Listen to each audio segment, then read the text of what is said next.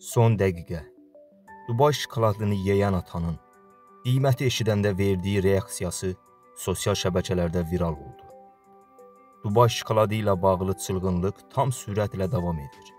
Sosial media sayəsində məşhurlaşan Dubai şokoladı marka tətbiqlərində də partlayışa səbəb olub. Belə ki, Dubai şokoladlı sendviçdən Dubai halvasına qədər 90-a yaxın ticarət nişanı müraciət edilib.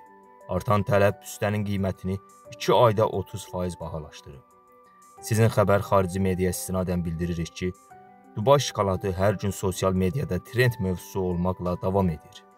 Nəhayət ata və qızın Dubai şokolad təcrübəsi viral olub. Paylaşılan videoda qız atasına Dubai şokoladı təklif edib və o an bilirsən, nə qədər Dubai şokoladı yedinsən.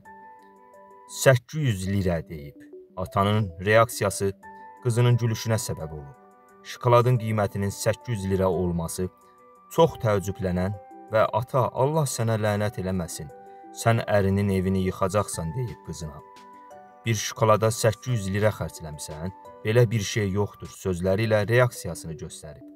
Videoya onlarla şərh gələrkən bəzi istifadəçilər ata ilə razılaşaraq Dubai şokoladının qiymətinin baha olduğunun diqqət çəkiblər.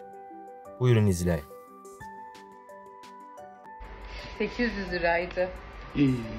8 Hocam yediğin Dubai çikolatası ne kadardı sen biliyor musun? ne kadar? Söyleyeyim hazır mısın?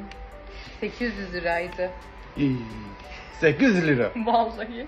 O yediğin çikolata. Allah seni kahretmesin. Sen kozanın evini Kur'an'ıma yıkarsın la. Bu nedir la? 800 lira bir çikolata verdin.